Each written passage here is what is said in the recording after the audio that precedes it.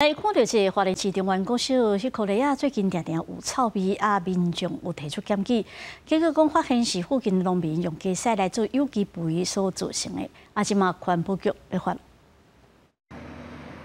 来到华联市的中原国小大门口对面，就是这块农地传出臭味，那附近居民挡袂掉，就连一百公尺外的行行树声拢闻到。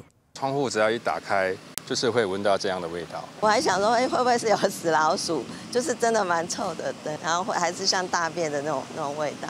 附近居民向环保局检举，调查发现是旱之残，这种黑色的石肥，伊是鸡屎所做的。虽然有机，也过伊规定需要掩埋，那无造成臭味，依废清法第十一条规范。建议地主如果真的要使用这些有机质的肥料，是不是能够考虑先用掩埋的方式来处理？因为我们目前还找不到这个行为人。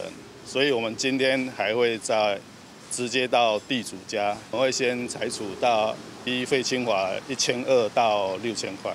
环保局强调，若讲找袂到农民会追究地主责任，若无改善会当按日连续处罚。此外，也会要求农民将移除通知外界有机肥，避免恶臭继续影响空气品质甲环境卫生。记者综合报道。